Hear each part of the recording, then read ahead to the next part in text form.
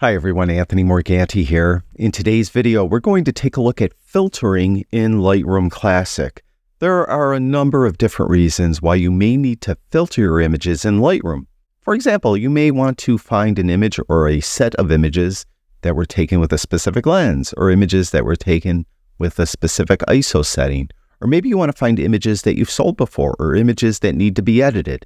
Well, you could do that when you filter them in Lightroom. And there's two different ways to filter images in Lightroom.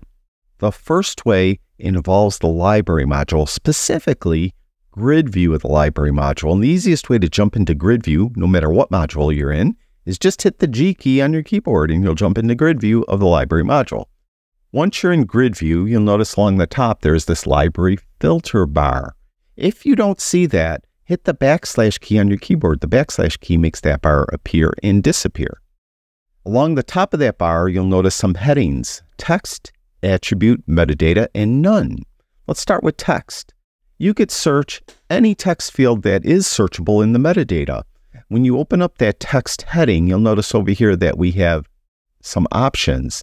Right now I have it set to any searchable field. Or I could be more specific. I just could look for titles or captions or a certain search, searchable IPTC data or EXIF data. Let's leave it at any searchable field. And then we could narrow that down over here with this dropdown and just contain the word I'm going to search for or contains all the words I'm going to search for and so on. I'll just do contains all and let's just write noise. Because I know that I put a keyword on images that have high noise that I'm going to use in videos that I'm demonstrating noise reduction, like Denoise AI and videos such as those. So I put a keyword in the keyword, I'll often put noise. Also, because I'm searching any searchable field, if it's somewhere else, if it's in the caption or if it's in the title, it's going to show up here as well. Now you'll notice, for example, this image, it has the file name and then it has dash denoise AI dash standard. This image was sent to denoise AI. And because it was sent to denoise AI, denoise put denoise up here in the file name and it's finding it when I write noise. So you could search for any searchable metadata field through that text attribute at the top here. Now, of course, you have to set this up. You have to be kind of um, good about when you import images or when you're editing images to put keywords in there that you know you may need to search for in the future. I mentioned at the top that you may want to search, for example, images that you sold before. That means if you sold an image in the keyword, you could put a keyword sold or whatever, and then you could search for that keyword and you'll know that it will come up with every image you've ever sold before. So you could do this. You just have to be diligent about um, the metadata, basically more, more commonly putting in keywords. You may often, though, change the name of the file, and in that case, you could search for that. So if you've sold an images sold an image, you may not use a keyword. You may want to put in the file name sold or something like that, and you'd be able to search for it here.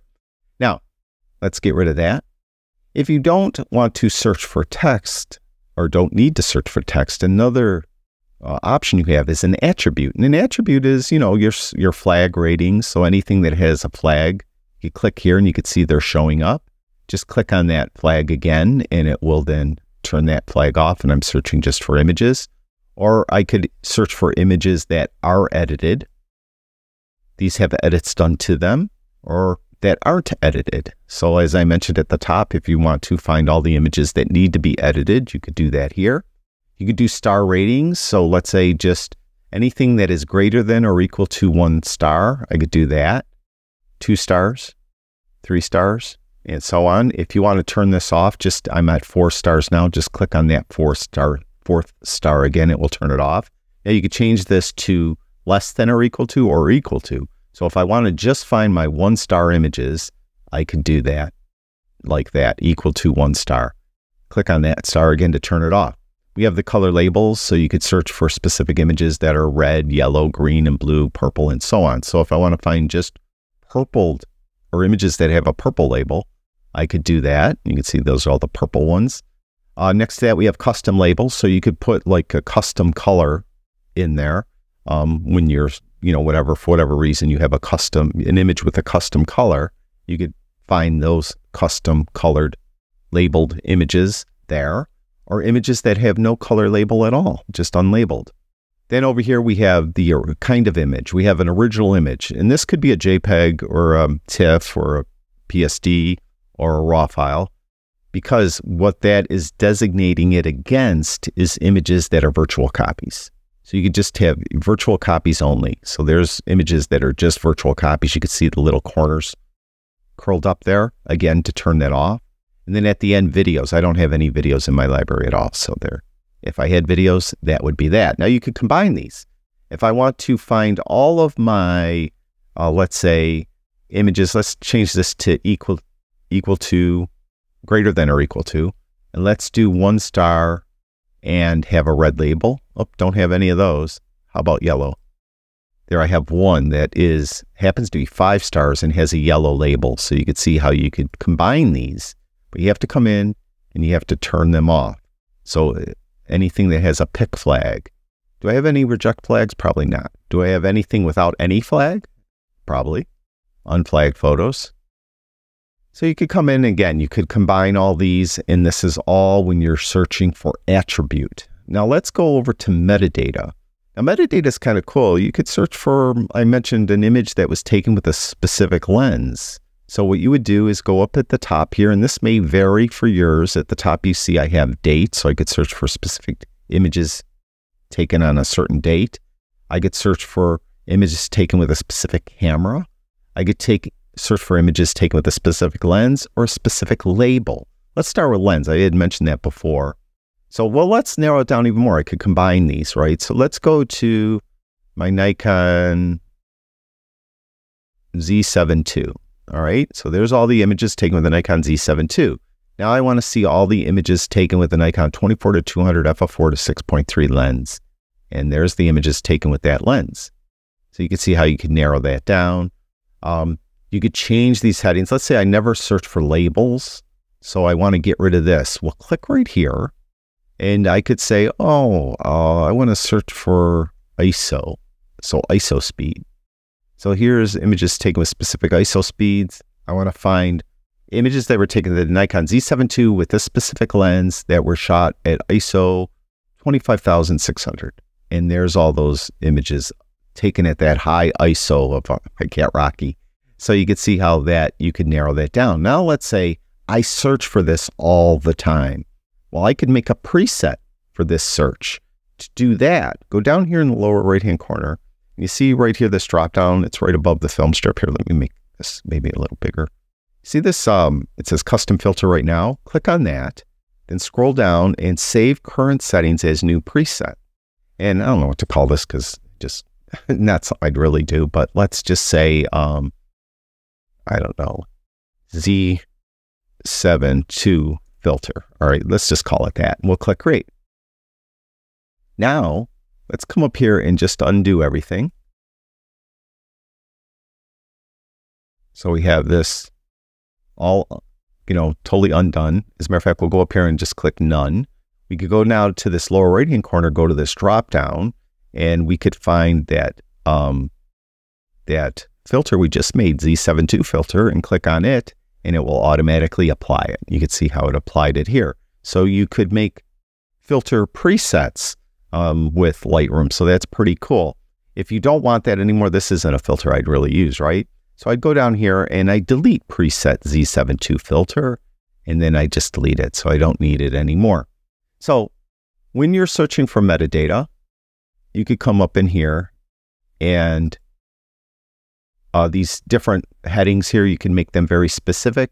You see there's little drop downs here. So if I wasn't ever going to use lens, I could come here and just use specific camera serial numbers. You could see all the different ways you could search uh, for an image or set of images with that. Over to the right of that, there's another drop down and you could add a column to the left, right, or remove this column. So you could have a bunch of columns up here. I usually have the four to search with, but you could search with, you know, you could really narrow this down. You want to find images taken with an ISO of 6400 with a specific lens, with a specific camera on a specific day. Um, also, maybe with a specific, um, I don't know, something else. I don't, you could just keep adding it and really narrow it down. And then if it is something you do often, you could make a filter preset for it as I demonstrated. Now, I mentioned that there are two different ways to filter in Lightroom Classic. This first way involved grid view of the library module, but you also could do some searching if you're in, let's say, the develop module. And if you're in the develop module and down here is the filter bar right here. It's right above the film strip. And we touched on that before when I made that filter preset. Now, if you don't see all these different ways to search right here, just click on the word filter and you can see how when I click on the word filter, it kind of hides it. And then click on filter again and it will bring it out. So I could, here, let's, I don't think I have any tagged images in this folder. Let's go to one I know I do. Um, probably this one, right? Yeah, this one. Okay, so now we have, let's say, just images that have a pick flag. You can see those are the ones with the pick flag. I get images that have no flag, unflagged photos, images that have a reject flag. I don't have any of those. Images that have edits done to them, images that have no edits done to them. So we could, you could combine these. So uh, then let's say, again, greater than or equal to one star images. We have the colors. Again, we have red, yellow, green, blue, purple, uh, custom, and none. Uh, so all the yellow tagged images and so on. So you could come in and again, you could combine these. So if I want to find all images that are three stars or greater that have a green um, label, but I don't have any. Um, of course, that made that kind of, how about with the pick flag? There we have a couple here. And then if you want to, of course, see that, we're in the develop module. So you could do this from the develop module. Um, so you could just search this way, all through this filter bar right here. And again, you could make a preset here as well. Just go to this dropdown and you could create a preset. So there's all different ways you could filter in Lightroom. Now, what I probably should have mentioned at the top is you really have to set up your Lightroom for searching though. I mean, right out of the box, unfortunately, um, you're just not able to search for some things. Like if you wanted to find images that you've sold before, uh, Lightroom's not going to know you sold them. So you're going to have to give them some type of attribute to designate that that images, th- that image or images were sold. So you have to either give it like a five star rating, that means it was sold, or maybe a red label means it was sold, or maybe you just wrote in the keyword area of the uh, metadata that it was sold, something like that, so that you, uh, Lightroom has that in there so you're able to search for it. So I probably should have mentioned that at the top, but that is important. But even if you don't do anything at all with your images when you import them, you are able to search for a lot of stuff. You could search for like as I showed the the camera, the lens, ISO um, settings and stuff like that. You're able to do all that in Lightroom. So that's filtering in Lightroom Classic. Thank you, everyone who watches my videos. I really do appreciate it. Talk to you guys soon.